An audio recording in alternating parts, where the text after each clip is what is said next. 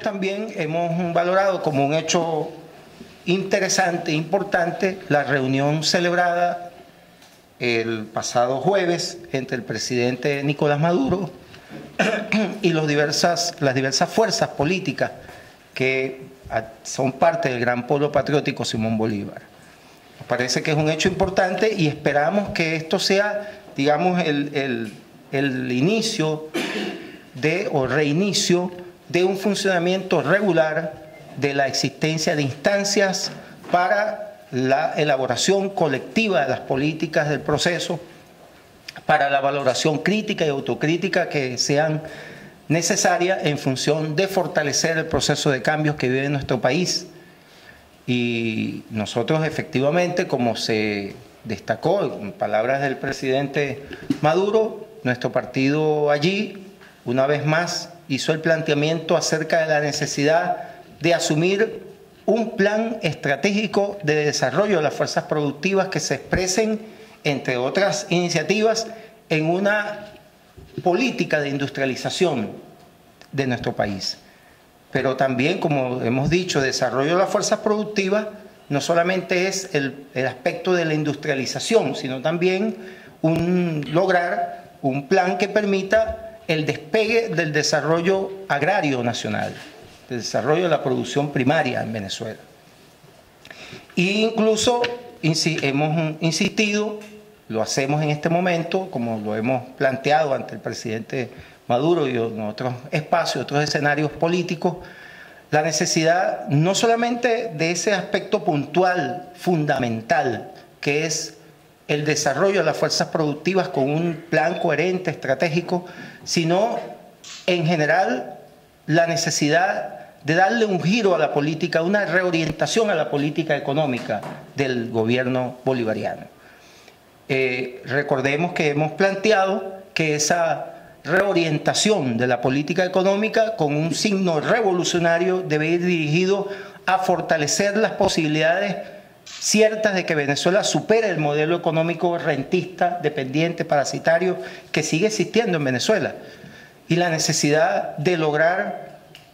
el protagonismo efectivo de la clase trabajadora y del pueblo venezolano en la determinación de las políticas y los planes que permitan el desarrollo económico de nuestro país con equidad y hacia orientándonos hacia la conquista de justicia social. Nosotros hemos planteado, entre otras cosas, la necesidad de cerrar el grifo de divisas dirigido a los sectores del capital con una política de estatización del comercio exterior y específicamente que el Estado asuma el monopolio estatal sobre las importaciones para no seguir suministrando divisas que van dirigidas a, beneficiar las apetencias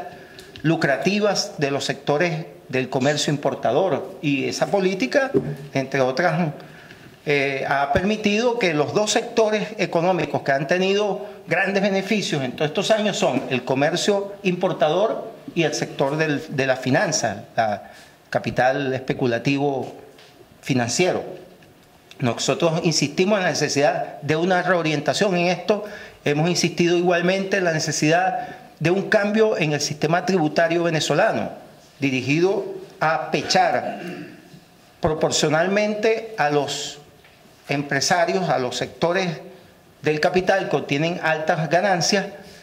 y progresivamente ir acabando con el IVA como un impuesto regresivo que es propio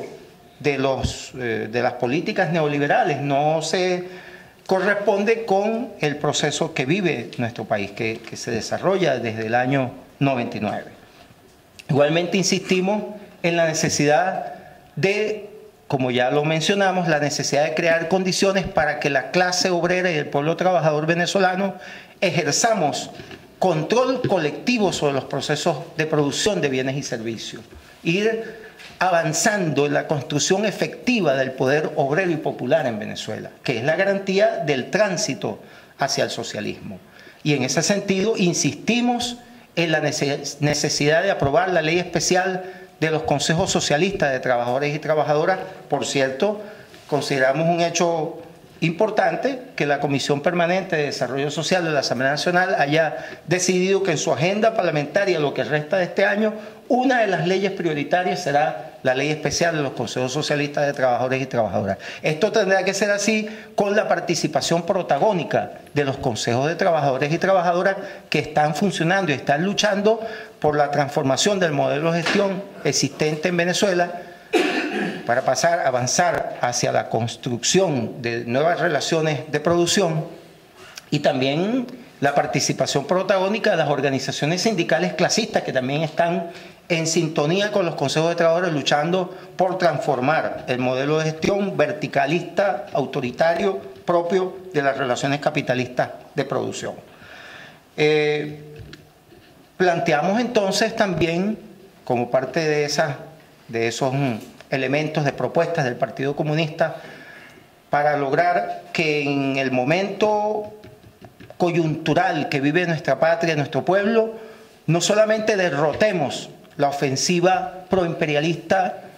reaccionaria, desestabilizadora que emprenden los factores de la extrema derecha, sino que también aprovechemos la coyuntura histórica para profundizar el proceso. Y en función de ello hemos sido categóricos, insistentes en la necesidad de realizar un cambio profundo en la política laboral del gobierno venezolano.